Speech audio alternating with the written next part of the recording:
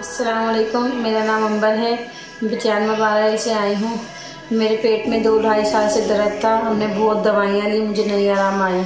फिर हमने अल्ट्रासाउंड कराया। मुझे पता लगा मेरे पित्ते में पथरी है और इसका ऑपरेशन होएगा।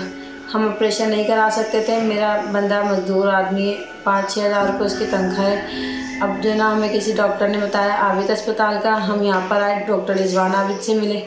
इन्होंने हमें टी एच इदारे का बताया। कि भाई ये बिल्कुल फ्री आपका ऑपरेशन कर देंगे।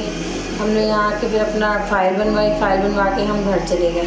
फिर इन्होंने हमारे अट्ठाईस तारीख को उन्होंने फ़ोन करा कि आपका ऑपरेशन है, आप आ जाओ। इन्होंने मेरे पिते का ऑपरेशन करा कैमरे के ज़रिए।